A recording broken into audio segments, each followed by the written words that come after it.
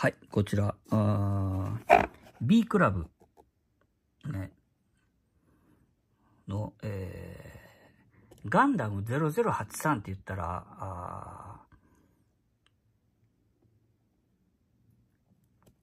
えー、ガンダム試作1号機から始まるやつやな。0083、スターダストメモリーかなんかで。で、それのね、なんと、えー、これがね、144分の1のガーベラなんですよ。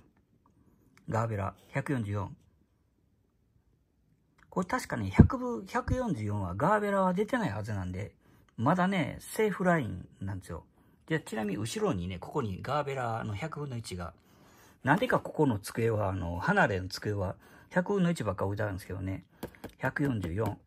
で、ここにもありまして、100分の1。赤ラベル。まあ、ええけど、みたいな感じで、これ。ガーベラ。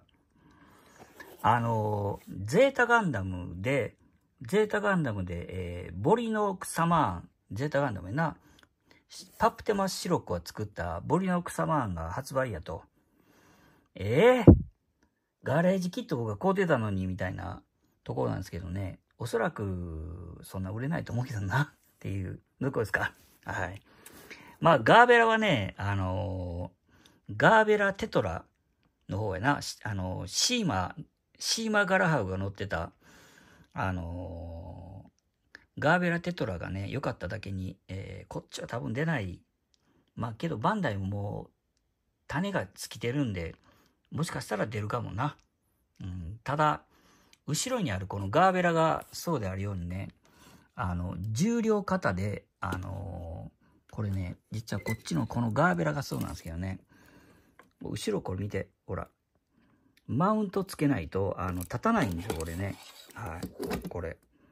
普通にこうやって立ってるように見せかけて、実はね、あの、後ろのプロペラントタンクがつかないとね、もう立つことすらできない重さなんですよ、これ。はい。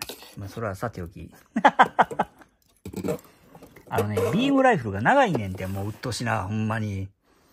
このビームライフルが長すぎてね、あの、立たないんか、ごめんわ。ガンダムが倒れてきた。あの、ま、めんどくさい、ムービースーツやで。